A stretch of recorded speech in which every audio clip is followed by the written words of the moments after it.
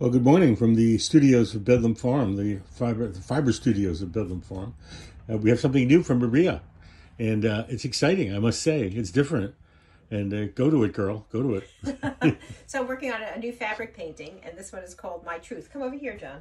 Okay, I'm just coming from the dentist, so I'm, my, I'm a little foggy in the mouth, more more than usual. He's a, he's a little numb, and I keep looking at him and thinking, why is he so pissed off? But it's just that his mouth is numb. So I know, and I'm in a pretty good mood, really. And I love what I'm seeing here in Marie's studio. Well, I'm, I'm going to show you. So this is this is what I'm working on. I have. Um, this is an old, a piece of an old quilt that I've kind of patched together, and it has the old the quilt has this flower on it, um, which you can see kind of the this the old stitch in the applique.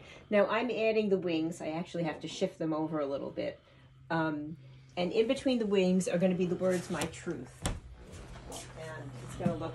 This is the the first one I did that didn't work out exactly, but it's going to look something like that. Um, the lettering is going to look something like that, stitched stitched between.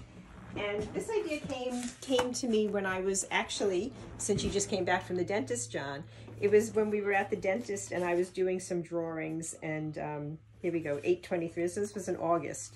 So this was my first drawing with the My Truth. You can see it there. And it's on the body of a, it's like the head of a woman. And then I did another one. Whoops, that's not it. Well, I was getting tortured inside the right, dentist. There's office. another My Truth. And um, and then I started just like um, figuring out what it would look like. Yeah. So just the words and the wings.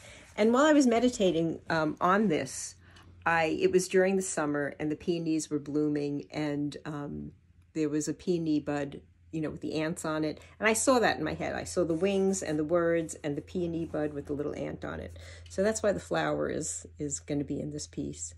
And originally, these wings with the with the words between them, I was in the uh, I was walking in the woods, and I found a pair of hawk wings. They were fully feathered. It was just the wings, and they were attached by almost like a little square bone in the middle of them. They were amazing. And um, I left them in the woods because they, they just felt so powerful to me that I, I didn't know what to do with them. I didn't even take a picture of them they they were just and they obviously stuck in my head. That's sacrilege around here. That I didn't take a picture. it was it was weird. It was like they were they had such energy. Just very powerful. They were so powerful. I thought these are these are like too much for me. you know, I, they shouldn't have their picture taken.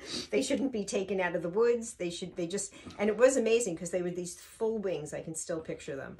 Um, so this is so this is like all come together to you know. To, Tell me what to, you mean by my truth.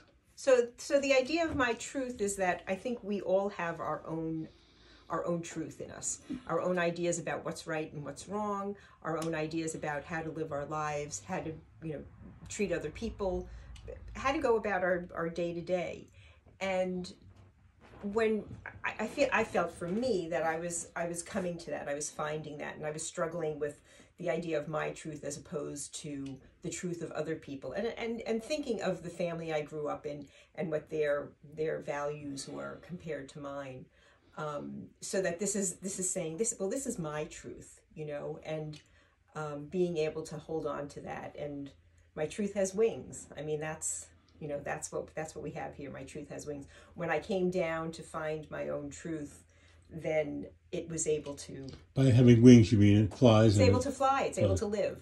You know, um, and I think the peony bud is it comes into that whole idea too of this, you know, this closed up bud that is. This is great. This is a really fascinating uh, in, in discussion of how art where is created and where it comes from. And, yeah, it comes from like, all those, all those different pieces. That. Well, you do the same thing with your writing. You know, every time, like you're, you'll be talking about something, you'll listen to the news, you'll read something, and you bring it all together. But this is more complicated than writing, really, because you have to translate no. it into fabric and stuff. Well, that's easier for me than writing, actually. well, I see.